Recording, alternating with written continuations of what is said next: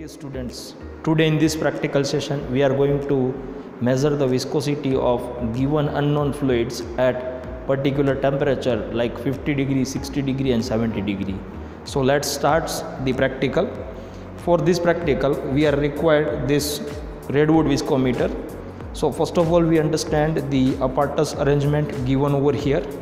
So in this apparatus we have this two thermometers that we are using one is for measurement of the water temperature and another is for measurement of temperature for oil or any unknown fluids.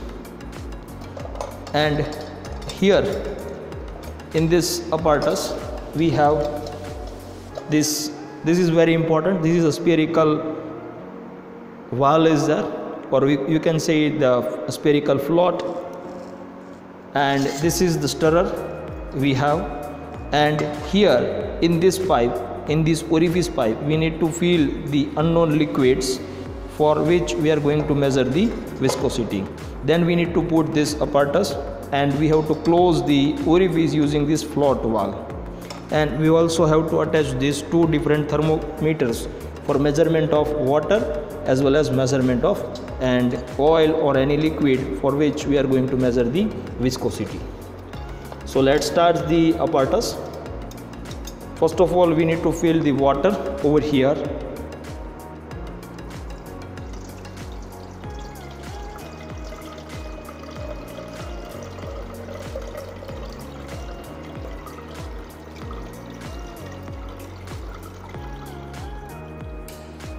After filling the water now we are going to fill this liquid for which we are going to measure the viscosity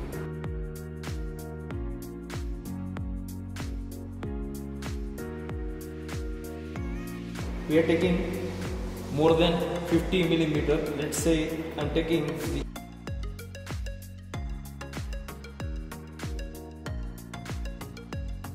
I'm taking 100 millimeter of oil for which we are going to measure the viscosity. So now we need to fill this oil or the unknown liquids in this orifice.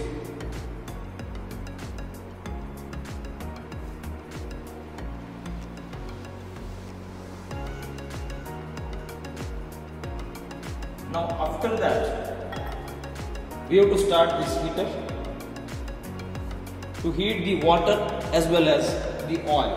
And when the steady state conditions means the temperature of water and the temperature of oil reach at the same level, at that time we need to lift this floating valve and measure the time required for the 50 millimeter of the liquid falling from this orifice.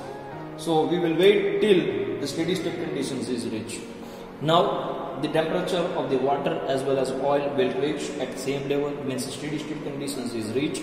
Now we need to leave this float valve and using the stopwatch using the stopwatch we need to measure the time for filling this 50 milliliters of liquid. So here I am going to lift this valve and at the same time I am going to start the stopwatch and we are measuring the time required for filling the 50 milliliters of liquid.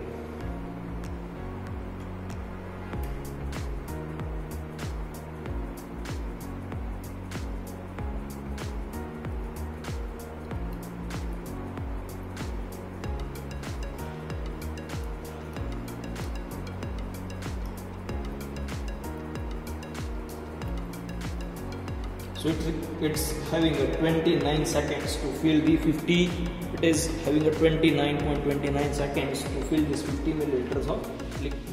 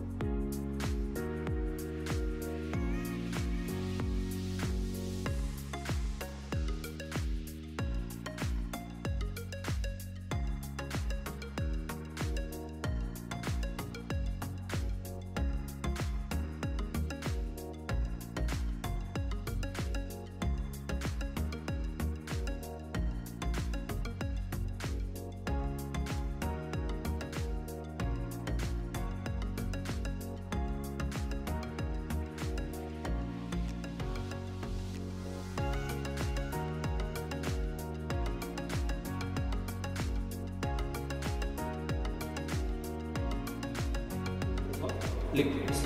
Now, basis on the given formula for the redwood viscometer, we are going to measure the viscosity of this unknown liquid. Thank you. Thank you for attending this practical session. Thank you.